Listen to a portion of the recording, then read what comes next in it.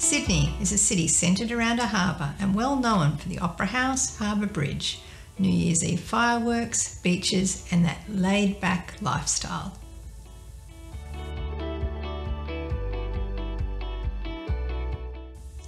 G'day, my name is Catherine.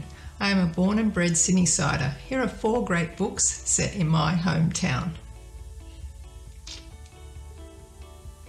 Book one is The Blue Mile by Kim Kelly. It's the 1930s and the Sydney Harbour Bridge is being built across the harbour. Two young people are at the start of their adult lives and they meet by chance. They are both smitten. Yo Yo is a young Irish lad working a dangerous job high on the girders of the bridge. His job is to catch the rivets as the boilermakers attach each new section. Meanwhile, the ambitious and talented Olivia catches ferries under the bridge construction and across the harbour on her way to her fashion house in the city. They are from very different walks of life. Will they be able to bridge the class divide? More broadly, all of Sydney is caught up with bridge fever.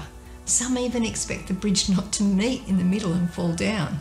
This is a time of high unemployment, and this well researched story delves into the politics of the times with the big fella, a prominent politician, supporting the working class, and the establishment supporting Mother England, literally causing rioting in the streets. I particularly enjoyed the author's description of real places in Sydney, like Olivia getting off the ferries at the quay and walking to work, Yo-Yo's workman's cottage in Balmain, and the Lavender Bay area. But the shining light in the book for me is Yo-Yo's dedication to his younger sister Agnes and how hard he tries to escape an upbringing in poverty and violence. This book is for you if you like your characters with real world flaws.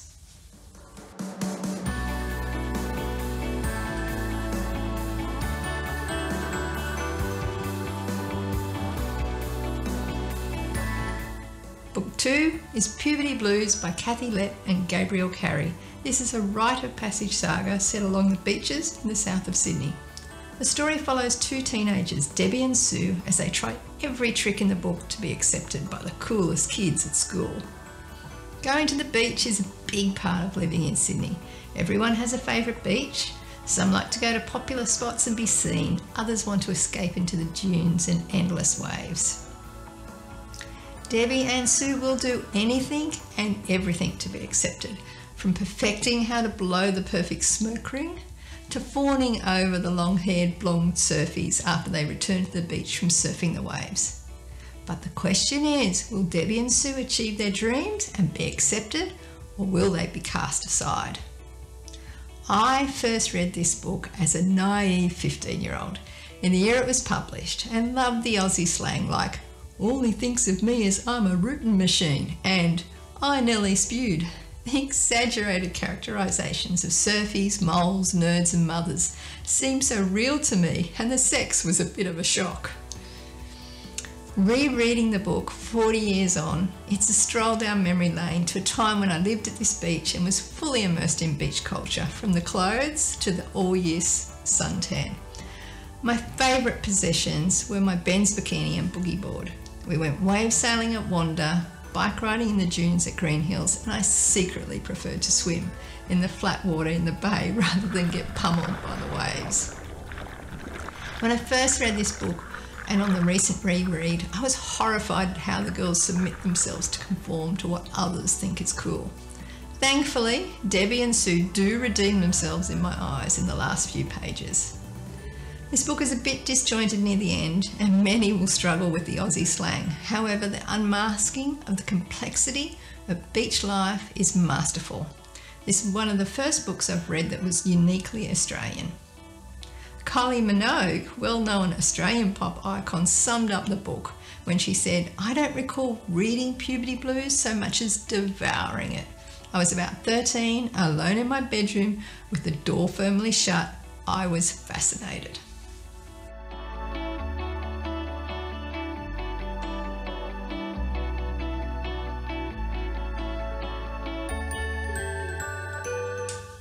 Book three is Watkin Trench 1788 by Tim Flannery. This is a first hand account by a Marine officer called Watkin Trench of his experience in the early years of establishing a penal colony for the British on the shores of the harbour. Written over 200 years ago, Trench's humour, compassion, and curiosity shine through. After eight months on a ship, Watkin had landed on the other side of the world. Kangaroos were just one of the strange spectacles that greeted the new arrivals. Everything was upside down and different, and the heat was oppressive. He observes day to day life with a keen eye, including the strange, colourful birds that squawk from the treetops, the hunger endured, and the behaviour of the convicts.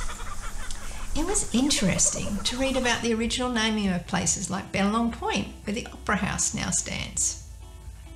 However, the big eye opener for me was how he describes with candour his experiences with First Nations people, including the unlikely friendship of Governor Phillip and Bennelong, a senior man of the Eora people, and the actions of Pemulwuy, who initially traded meat with the new arrivals and then ended up waging a guerrilla campaign against the colony. Whilst the content of the book is significant for Aussies, the book will appeal to anyone who enjoys a first person accounts from a different time and place.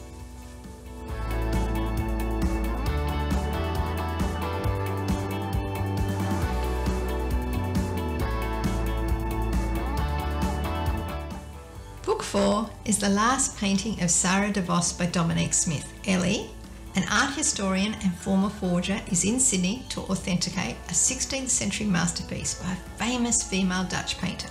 Ellie is working at the Art Gallery of New South Wales. Each day, she walks to work and soaks up the beauty of the harbour and the gardens. The story weaves between the golden age of Dutch painting in the 1600s to New York in the 1950s and Sydney, the common thread being the painting by Sara de Vos. Whilst all the story is not set in Sydney, the book still made it onto my list as it's a gem and a great way to authentically link our young city at just 180 years old to other times. The Sydney timeline coincides with the 2000 Olympics, a magical year for any Sydney sider. Throughout the story, we learn how the painting affects the creator, the owner, and others in a great historical tale of love, grief, art, and forgery. I particularly liked learning about how the art guilds worked in the golden age of Dutch painting. The question is will Marty, the private investigator, uncover the truth about Ellie's forgery and what will he do?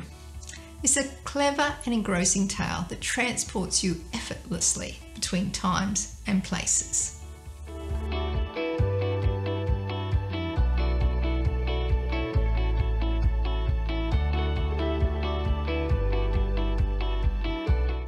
It's been great sharing these four books with you today. Links to all the books and extra content is in the description below. Be sure to subscribe so you don't miss out on future episodes. Upcoming episodes include Kyoto in Japan and Valletta in Malta. All of the past episodes can be accessed via this playlist. See you next time.